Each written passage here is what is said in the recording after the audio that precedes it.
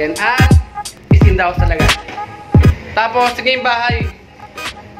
Ayan na. Bahay na siya. O, oh, diba? Pet, airpot.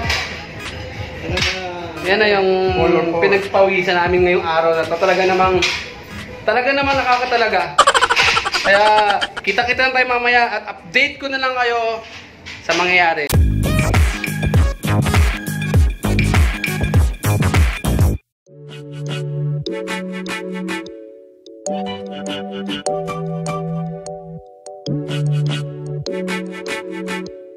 So,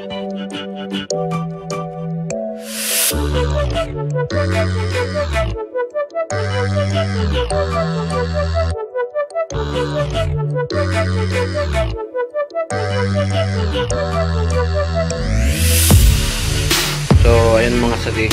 Bali, ah, almost 90% na po. Ayos yung bahay. Ito yung tinibag natin. Yan na. So, pero hindi pa siya masyadong kinis ha. Kasi kulang pa yan sa adhesive. Ay, sa ano, grout. Uy, extra. oh. Yan. Lipat lang namin ibang gamit para pag magtatrabaho. So, yan pa. So, ito naman yung ginawa ni airpot. So, yan, di pa tapos yan. Talagyan pa yan ng konting shelves dito sa taas. At dito sa side para sa TV. Kasi papalitan natin yan. Kaya, tapos pipinturahan pa natin yan ng block. Papatungan natin. So, yan yung tiles. Yan siya. Baba. Ayan. Siyempre, pag medyo maliit ang bahay, kailangan natin mga ah, storage box. Kailangan natin storage box. Para yung space is ano, hindi takaw space. At ayan, konti na lang yan. Tapos na, isa pa nanonood dito. Tiyah! Extra! Ayun, tumatakbo! Tumatakbo, yan! Basta, kung napapansin nyo, ilan lang yung kulay dito sa bahay namin. So, na ma-maximize natin yan. Kasi, para at least kahit paano, pag maraming kulay kasi tapos medyo maliit yung bahay mo, medyo sisikip siya. So, kung makita nyo, light lang yung, yung pintura natin. Tapos black, brown yan, yung parang ah, furniture style, tapos black. Tapos yung sopa natin is nag-blend rin dito sa tiles natin. Yan. Tapos ito, kita nyo yan. Tapos lalagyan pa siya ng mga storage bin dito ng mga shelves, open shelves. Pag nakakuha na tayo ng sa, sapat na TV dyan, kasi maglalagay tayo ng okay na medyo malaki-laki na TV. Tapos yan, ginawa ni Airpot. Parang di sayang space, di ba? Papansin nyo. Parang sayang space dito. Yan.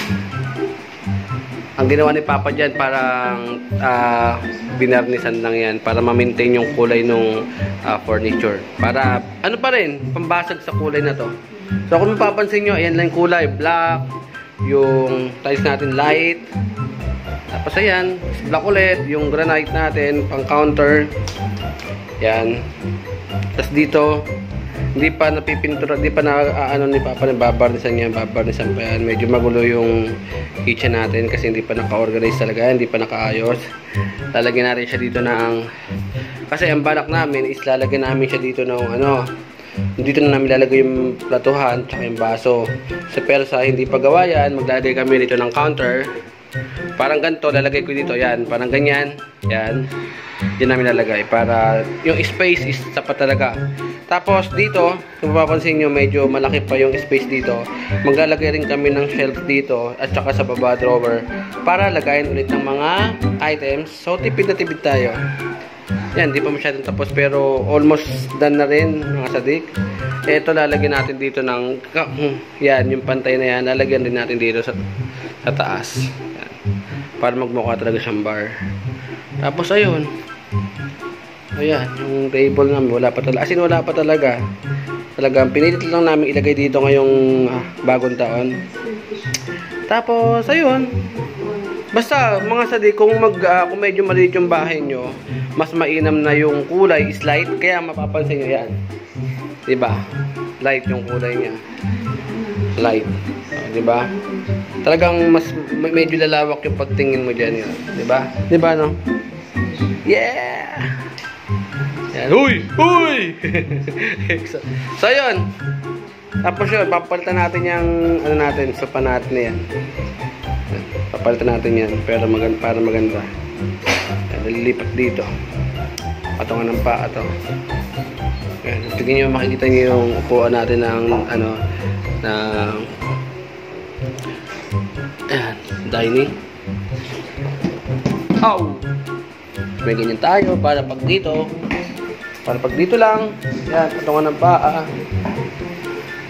Nakaganyan ka lang. Yan o.